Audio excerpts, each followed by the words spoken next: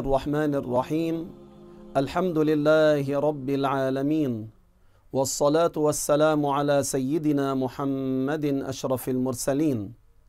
أيها الأحباب جاء في السنة المطهرة ما يدل على مدح النبي عليه الصلاة والسلام جماعة وفرادا بدف ومن غير دف في المسجد وخارجه. أليس ثبت في الحديث الصحيح أن أشخاصا من الحبشة كانوا يرقصون في مسجد رسول الله صلى الله عليه وسلم ويمدحونه بلغتهم. فقال عليه الصلاة والسلام ماذا يقولون؟ فقيل له إنهم يقولون محمد عبد صالح. فلم ينكر عليهم صلى الله عليه وسلم ذلك. أليس قال العباس بن عبد المطلب عم النبي صلى الله عليه وسلم له يا رسول الله امتدحتك بأبيات.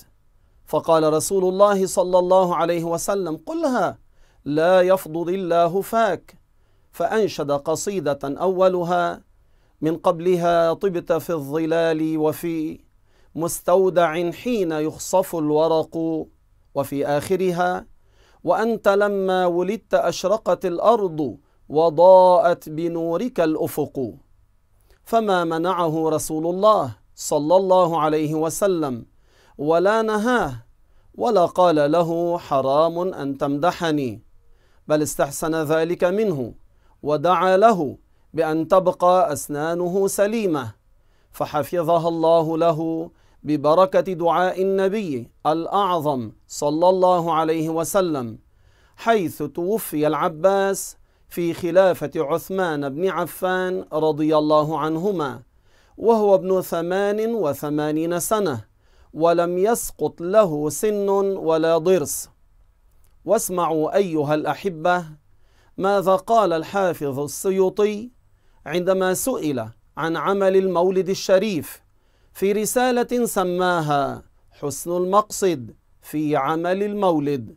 قال واسمعوا جيدا ماذا قال أصل عمل المولد الذي هو اجتماع الناس وقراءة ما تيسر من القرآن ورواية الأخبار الواردة في مبدأ أمر النبي عليه الصلاة والسلام وما وقع في مولده من الآيات ثم يمد لهم سماط يأكلونه وينصرفون من غير زيادة على ذلك هو من البدع الحسنة التي يثاب عليها صاحبها لما فيها من تعظيم قدر النبي صلى الله عليه وسلم وإظهار الفرح والاستبشار بمولده الشريف صلى الله عليه وسلم. فلا يهولنكم عباد الله رحمكم الله. كلام نفاة التوسل المحرومين من محبة نبينا رسول ربنا عليه أفضل الصلاة والتسليم.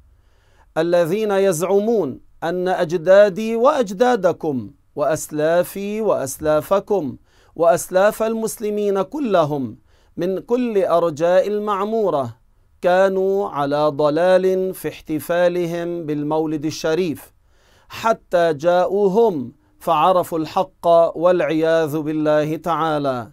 هؤلاء جاهلون بالخالق تعالى محرومون من محبة النبي الكريم عليه أفضل الصلاة والتسليم. ولا تغتروا بشبههم ولا تلتفتوا إلى إنكارهم واحتفلوا بالمولد الشريف واقرأوا القرآن واقرأوا ما حصل عند مولده وما ظهر من الآيات الباهرات وامدحوه بحسن النية وعظموا قدره ولا تبالوا بمنكر أو جاحد. هذا النبي محمد خير الورى ونبيهم وبه تشرف آدم هو في المدينة ثاويا بضريحه حقا ويسمع من عليه يسلم. صلى عليه الله جل جلاله ما راح حاد باسمه يترنم. وآخر دعوانا أن الحمد لله رب العالمين.